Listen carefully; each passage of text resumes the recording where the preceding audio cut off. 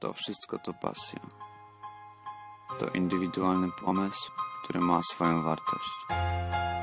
Nie chcemy wiedzieć, na ile go wycenisz, ale czy w ogóle docenisz.